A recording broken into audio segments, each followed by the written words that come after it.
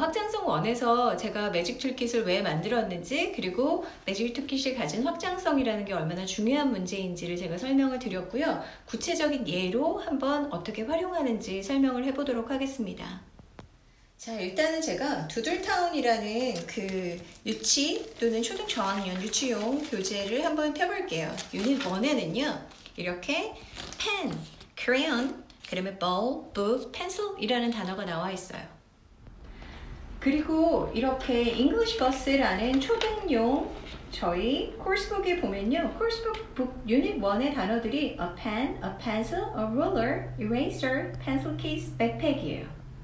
그래서 보시다시피 거의 모든 coursebook이나 아니면 reading 책들의 흐름에 단어의 흐름들은 거의 유사성들을 가지고 있어요. 그래서 제가 그리기 어려운 단어는 말씀대로 넣어드렸고요. 색깔을 표현해야 되니까 만들어드렸고 없는 단어들은 아이들이 직접 한번 그려보도록 할게요. 자, 아까 나왔던 단어 중에서요. 루머라는 단어를 그려볼게요. 자죠, 자. 해서 제가 그림을 아주 잘 그리지 못하지만 뭐 이 정도면 표현이 될까요?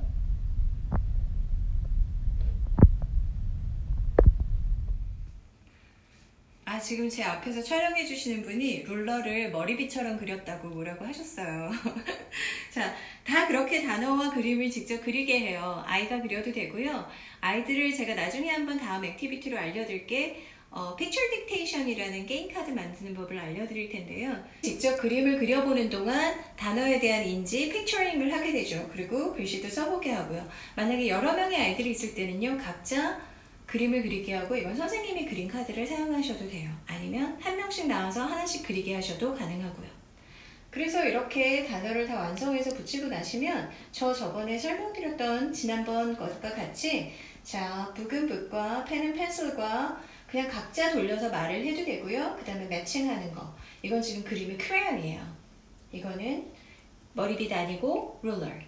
모든 것들은 정확하고 분명해야지만 아이들이 학습이 되고 인식될 거라는 생각이 있어요. 그런데 굉장히 중요한 티칭 팁 중에 하나가 뭐냐면 avoid obvious. 그래서 명백함을 피하라라는 교육학적인 이론이 있어요. 뭐냐면 너무 명백하고 클리하면 듣는 사람만 된다는 거죠.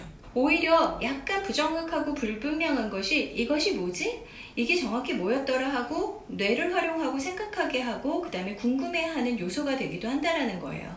그래서 여기서 그려진 doodling이요. 아이들 그림이 분명치 않아도 괜찮습니다. 여기서 보시면 이건 crayon이고 이건 pencil이고 이건 펜으로 제가 그려놨는데요. 가끔 아이들 그림은 혼동이 있을 거예요. 그런데 신기하게도 그 안에서 각각 그것이 무엇인지 아이들이 인지하고 그걸 다가가게 된다는 거죠. 그림하고 내 머릿속에 그려지는 그림이 다르더라도 괜찮아요. 꼭 coursebook뿐 아니라 이렇게 reading 책이나 phonics에 나와 있는 모든 단어들을 꼭 주어진 카드로 학습하지 않아도 아이들이 직접 그리고 또 선생님이 같이 그리면서 카드로 활용할 수 있다는 부분이 이 매직 툴킷의 가진 가장 큰 확장성입니다. 아시다시피 똑같은 카드를 이렇게 주사위에 써서 던지며 게임을 할 수도 있죠.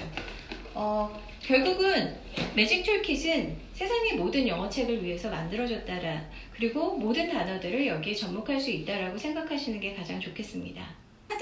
충분치 않다라는 부분이 어쩌면 제가 좀 의도하고 있는 부분이라고 이해를 해주시면 좋겠고요. 언제 아이, 어디서든 아이들이 직접 창의적인 그림을 그려내고 활용할 수 있도록 해주시고 또 선생님들도 부담 없이 어느 책을 사용하든 접목해서 편안하게 사용하세요. 하시다면 언제든 요청하시면 어느 책에도 접목하는 방법을 제가 또 알려드리도록 하겠습니다. 감사합니다.